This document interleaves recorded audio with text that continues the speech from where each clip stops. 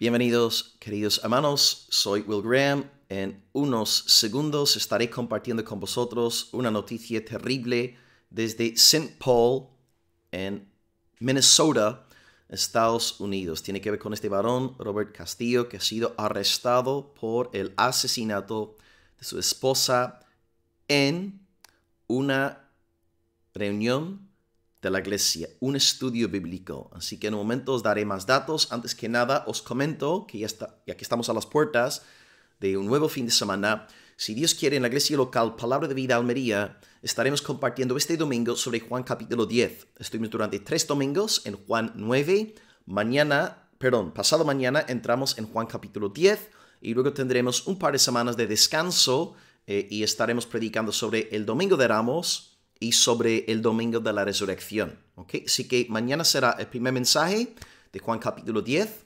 Tengo ya unos cuatro mensajes, creo más o menos sacados, de que el capítulo sigo trabajándolo, no he acabado todavía los estudios, pero este domingo estaré compartiendo el primer mensaje donde Jesús está contrastando el ministerio del buen pastor, Jesús, y el ministerio de los falsos pastores, los ladrones, los salteadores, que fariseos, porque vemos Juan 10 a Juan 9, donde está el ciego sanado por el poder de Cristo, salvado por él, pero luego los falsos pastores de Israel hablan mal del ex ciego, le injurian, le, le amenazan y acaban expulsándole de la sinagoga. Jesús es el buen pastor, los fariseos son los malos, los corruptos pastores de Israel. Ok, pues si queréis eh, tener la libertad de suscribiros a nuestro canal de uh, YouTube, se llama Palabra de Vida Almería, ¿ok? Y está todo el contenido y como regla general, los sermones se suben el mismo domingo. Bueno, uh, mis apuntes. Eh, de nuevo, bien triste lo que voy a comentaros ahora. Eh, hace un par de horas aquí en el canal os hablé de 72, 72 cristianos asesinados en la República Democrática del Congo escalofriante, ¿no, hermanos? Ahora, aquí estáis viendo las imágenes que han salido en las noticias en las últimas horas en Minnesota. Eh, se ve que Robert Castillo, un varón de 40 años, asesinó en medio de un culto, eh, un estudio bíblico que se estaba llevando a cabo en la casa de unos hermanos de la iglesia. De hecho, estaban en la casa de la hermana de Roberto eh, y él mató delante de todos a su esposa, apuñalándola 20 veces. De nuevo, delante de todos.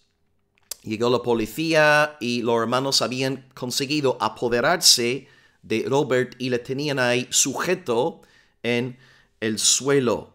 Eh, se ve que ella, eh, según los testimonios, los hermanos ahí presentes, él le sucedió algo a Corrina, eh, el nombre de la mujer difunta es Corrina Woodhull, madre de cinco hijos. Ella también eh, ex eh, drogodependiente. Dios le ha sacado ¿no? de un mundo de, bueno, de pecado, de adicción. Y Robert se ve que le sucedió algo a su esposa. Estaban ahí sentados en el sofá donde se estaba realizando el estudio.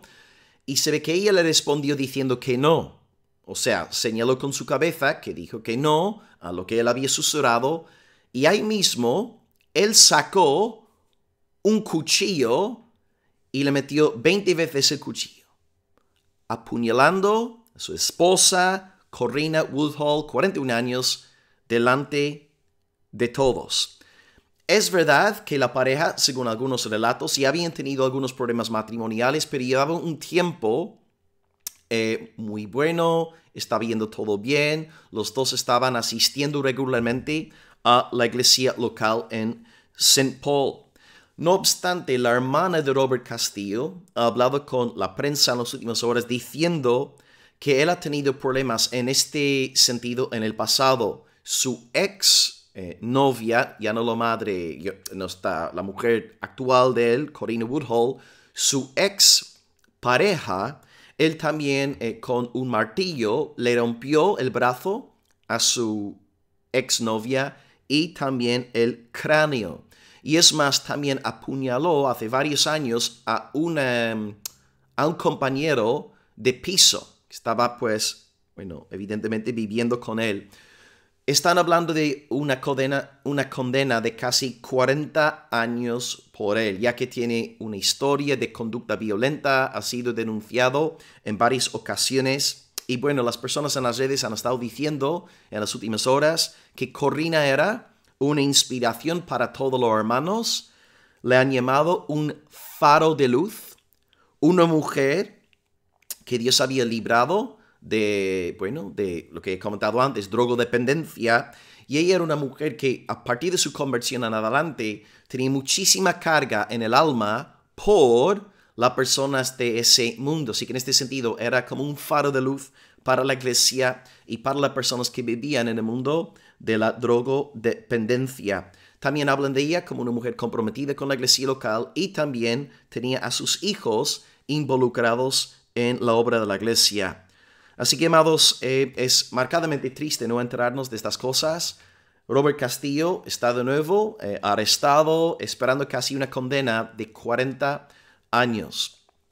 ¿Qué aprendemos de este relato?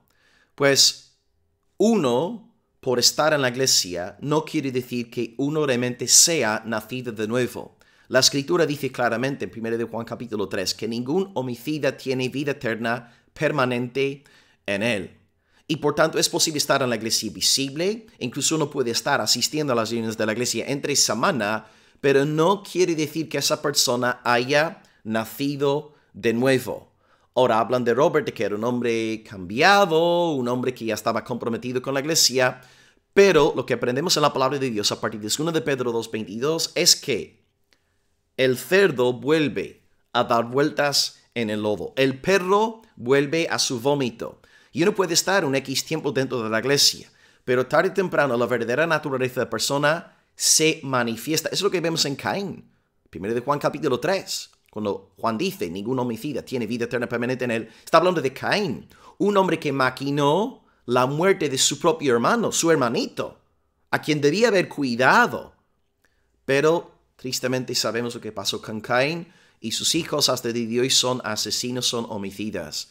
Así que Robert Castillo está ahora mismo en la cárcel, lo lamentamos mucho por la pérdida de, nuestro, eh, de nuestra querida hermana Corina.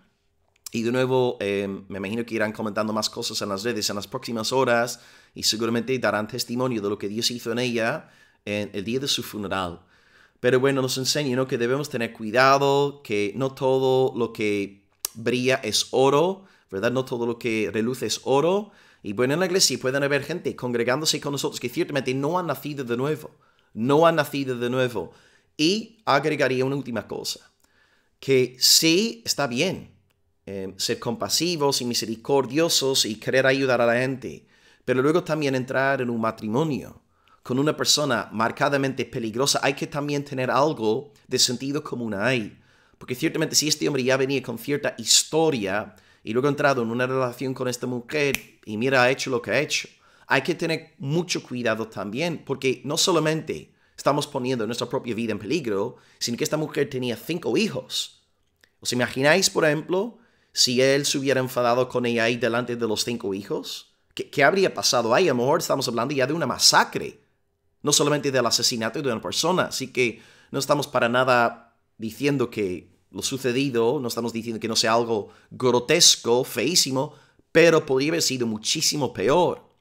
Entonces debemos tener cuidado también. Dios nos da un, juicio cabal y debemos estar muy seguros, ¿no? Antes de entrar en una relación romántica, antes de casarnos con una persona, debemos estar 100% seguros de que esta persona de mente es una persona nacida de Dios, con el fruto del Espíritu Santo, con las virtudes del Espíritu, con un nuevo corazón, con un nuevo espíritu, con el verdadero temor de Dios. Así que vosotros, hermanos, eh, que estáis solteros, cuidado en este sentido. No, no os vendáis por un plato de lentejas. No, no os eh, entreguéis a la primera persona que os muestre un poco de interés en el sentido romántico de la palabra. Tened cuidado, discernid, examinad los frutos de esa posible eh, futura pareja, ¿no? Porque, y Dios nos libre de que suceda algo así. Así que esta es la noticia, queridos hermanos. Robert Castillo, 40 años, eh, posiblemente será condenado a 40 años de cárcel por haber matado a Corrina Woodhull, su esposa, en un estudio bíblico en la iglesia de St. Paul, Minnesota, Estados Unidos. Em, una noticia terrible, pero bueno, que Dios fortalezca a sus santos en la iglesia de St. Paul, que Dios avive su obra ahí y que Dios también fortalezca y bendiga los corazones de estos cinco hijos que han perdido a su madre en estas circunstancias tan trágicas. ¿eh? Dios nos guarde y tengamos cuidado de nuevo, ¿no? Tengamos cuidado entendiendo que no todo Israel es Israel, no todo lo que está en la iglesia de mente ha nacido de nuevo. Que Dios nos guarde, que Dios nos proteja. Un abrazo para todos, en el amor de Cristo desde Amaría, Soli Deo Gloria.